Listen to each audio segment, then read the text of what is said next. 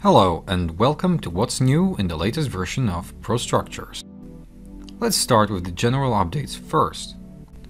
So, most importantly, ProStructures has undergone a rebranding of sorts following other Bentley products. Instead of ProStructures Connect Edition, all new major releases will be based on the year of release, so welcome ProStructures 2023. Next up is the ability to install all new major releases side by side. However, minor releases will simply update your major release. As you can see, we have ProStructures 2023 and ProStructures Connect Edition installed simultaneously. The remainder of general updates were security focused and improving software stability and performance.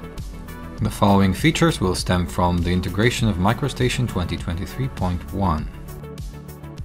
First up is the Recents tab and the quick pop-up menu that can be opened up by pressing spacebar.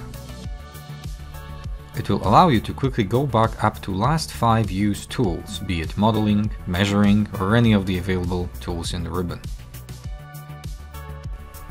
In this particular instance, a column and a wall tool were used one after another.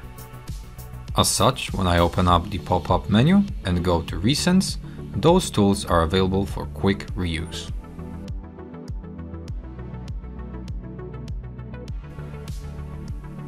Next platform improvement is the Table Style Manager. This tool allows you to capture a particular table style and save it for quick reuse later on in the project.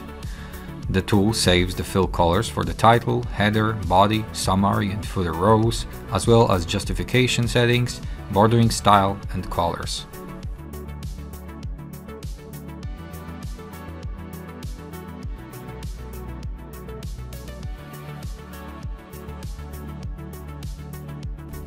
The last platform improvement is the ability to specify the number of elements for properties display in the Properties tool.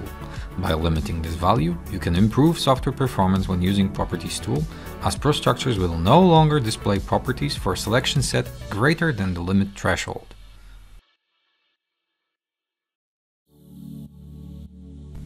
And finally, if you're new to ProStructures, a quick access link has been provided on the bottom of the home screen, which will take you to all the learning content you may require.